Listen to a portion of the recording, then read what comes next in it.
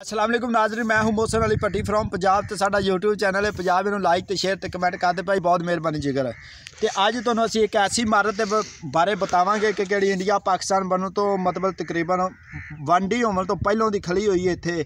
ਤੇ ਅੱਜ ਵੀ ਇਸ ਇਮਾਰਤ ਉਵੇਂ ਹੀ ਖੜੀ ਹੋਈ ਹੈ ਕਿ ਅਗਰ ਮੇਰਾ ਕੈਮਰਾਮੈਨ ਮਾਰੇ ਇਮਾਰਤ ਦੇ ਉੱਤੇ ਤੁਹਾਨੂੰ ਇਮਾਰਤ ਵਿਖਾਣੇ ਪਏ ਆ, ਤੇ ਕਿਵੇਂ ਕਿ ਅੱਗੇ ਆਜੋ ਭਾਜੀ ਥੋੜੇ ਜਿਹਾ ਆਪਾਂ ਸਾਰਾ ਜ਼ੂਮ ਕਰਨਾ ਤੇ ਆ ਵੇਖ ਸਕਦੇ ਜੇ ਇਹਨੂੰ ਅਸੀਂ ਸਾਡੇ ਪਿੰਡ ਵਾਲੇ ਨੂੰ ਕਹਿੰਦੇ ਨੇ ਜੀ ਇਹ ਟੁਕੀਆ ਹੈਗਾ, ਇਹ ਬੜੀ ਪੁਰਾਣੀ ਇਮਾਰਤ ਹੈ ਤੇ ਇਹ ਸਾਡੇ ਪਿੰਡ ਦੇ ਬਿਲਕੁਲ ਕਰੀਬ ਹੈਗੀ ਏ।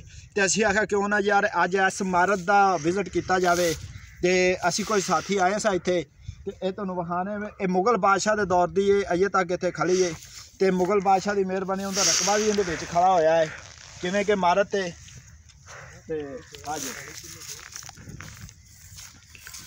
ਅਸੀਂ ਤੁਹਾਨੂੰ ਇਹਦਾ ਅੰਦਰੋਂ ਵੀ ਵਿਜ਼ਿਟ ਕਰਾਵਾਂਗੇ ਕਿ ਬਾਹਰੋਂ ਵੀ ਕਰਾਵਾਂਗੇ। ਤੇ ਇਹ ਹਰੀ ਸਿੰਘ ਹੁੰਦਾ ਸੀ ਇੱਕ ਉਹਦੇ ਮਤਲਬ ਉਹਦੇ ਤਾਮਲ ਨਾਲ ਵੀ ਹਰੀ ਸਿੰਘ ਦੀ ਹਿਸਟਰੀ ਦੇ ਵਿੱਚ ਕਿਉਂਕਿ ਆਈਏ ਵੀ ਉਹਦਾ ਦਾਨਾ ਇੱਥੇ ਹੈਗਾ ਹੈ ਹਰੀ ਸਿੰਘ ਦਾ।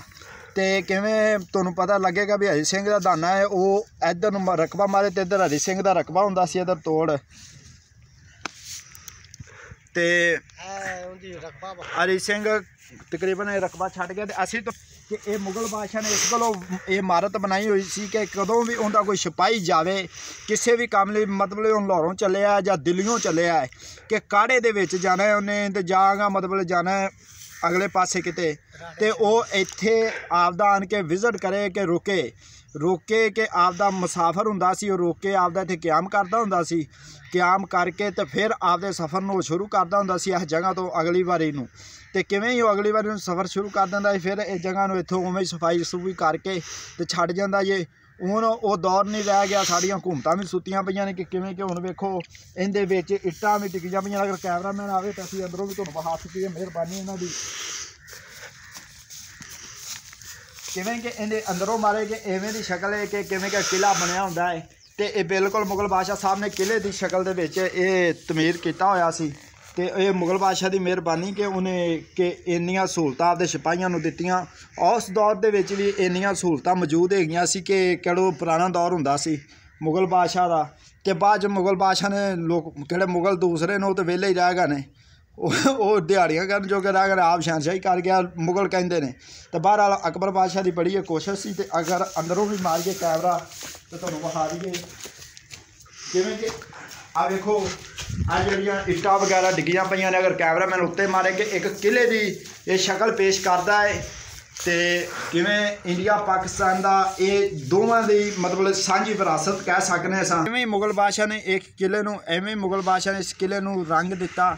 ਕਿ ਕਿਵੇਂ ਕਿ ਬਾਦਸ਼ਾਹੀ ਕਿਲੇ ਨੂੰ ਦਿੱਤਾ ਮੁਤਿਆਜ਼ ਲਈ ਬਾਦਸ਼ਾਹੀ ਕਿਲਾ ਬਣਾਇਆ ਗਿਆ। ਉਵੇਂ ਹੀ ਮੁਗਲ ਬਾਦਸ਼ਾਹ ਨੇ ਐਵੇਂ ਇਹ ਕਈਆਂ ਜਗ੍ਹਾ ਤੇ ਬਣੇ ਨੇ। ਅਗਰ ਤੁਹਾਨੂੰ ਪਿੰਡਾਂ ਦੇ ਵਿੱਚ ਨਜ਼ਰ ਆਵਣ, ਕਈਆਂ ਜਗ੍ਹਾ ਤੇ ਬਣੇ ਨੇ, ਅਸੀਂ ਤੁਹਾਨੂੰ ਥੋੜਾ ਜਿਹਾ ਪਿੱਛੋਂ ਵਹਾਵਾਂਗੇ ਕਿਉਂਕਿ ਇੱਥੋਂ ਤੁਹਾਨੂੰ ਖੂਬਸੂਰਤੀ ਨਜ਼ਰ ਨਹੀਂ ਆ ਰਹੀ ਵੀ ਕਿਉਂਕਿ ਕੈਮਰਾਮੈਨ ਅੱਗੇ ਆਪਣੇ ਸਾਡਾ ਤੇ ਆ ਜਾਓ ਜੀ।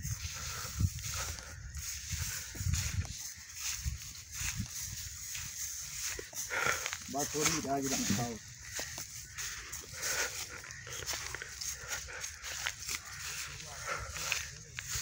ਤੇ ਅੱਗੇ ਕਿਵੇਂ ਕਿ ਤੁਹਾਨੂੰ ਕੈਮਰਾਮੈਨ ਵਿਖਾ ਸਕੇ ਸਾਹਮਣੇ ਤੇ ਇਹ ਉਹ ਵਾਈ ਮਾਰਤ ਮਾਸ਼ਾਅੱਲਾ ਕਿਵੇਂ ਕਿ ਵੇਖ ਲਓ, ਤੁਸੀਂ ਬਾਦਸ਼ਾਹੀ ਕਿਲਾ ਹੈ।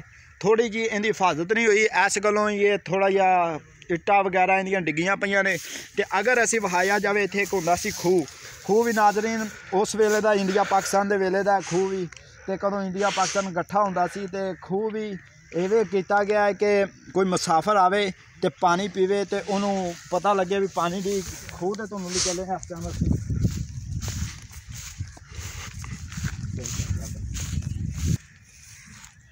ਹਾਂਜੀ, ਕਿਵੇਂ ਕਿ ਇਹ ਤਕਰੀਬਨ 200 ਸਾਲ ਪੁਰਾਣਾ ਕੂਆ ਇੱਥੇ ਮੌਜੂਦ ਹੈ ਸਾਡੇ ਕੋਲੇ। ਅਗਰ ਕੈਮਰਾਮੈਨ ਇਹਦੇ ਵਿੱਚ ਮਾਰੇ ਤੇ ਕੂਆ ਬੜਾ ਵੱਡਾ ਸੀ।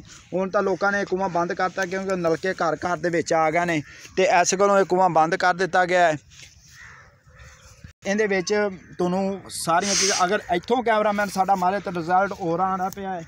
ਜਿਵੇਂ ਕਿ ਵੇਖੋ ਸਾਡੇ ਮਗਰ ਇਹ ਬਿਲਕੁਲ ਮਗਰ ਹੈਗਾ ਨਾਜ਼ਰੀਨ ਕਿ ਇਹ ਤੁਸੀਂ ਐਂ ਕਰ ਸਕਦੇ ਕਿਵੇਂ ਕਿ ਬਾਦਸ਼ਾਹੀ ਕਿਲਾ ਹੁੰਦਾ ਹੈ ਕਿ ਉਵੇਂ ਦੀ ਇਹਦੀ ਡੈਕੋਰੇਸ਼ਨ ਹੈ, ਹਰ ਚੀਜ਼ ਇਹਦੀ ਉਵੇਂ ਦੀ ਹੈ। ਕਿਵੇਂ ਬਾਦਸ਼ਾਹੀ ਕਿਲਾ ਹੁੰਦਾ ਹੈ ਤੇ ਇਹ ਮੁਗਲ ਬਾਦਸ਼ਾਹ ਦੇ ਦੌਰ ਦਾ ਹੈ, ਅੱਜ ਵੀ ਸਾਡੇ ਪਿੰਡ ਦੇ ਵਿੱਚ ਮੌਜੂਦ ਹੈ। ਅਗਰ ਕੋਈ ਸਿਆਹ ਆਉਣਾ ਚਾਹਵੇ, ਸਾਡੇ ਪਿੰਡ ਦੀ ਵਿਜ਼ਿਟ ਕਰ ਸਕਦਾ ਹੈ। ਤੇ ਆਈਏ ਵੀ ਮੌਜੂਦ ਹੈਗਾ ਤੇ ਉਹਨਾਂ ਜੇਕਰ ਸਾਨੂੰ ਦਿਓ ਨੈਕਸਟ ਟਾਈਮ ਲਈ ਇਜਾਜ਼ਤ ਤੇ ਅੱਲਾ ਹਾਫਿਜ਼।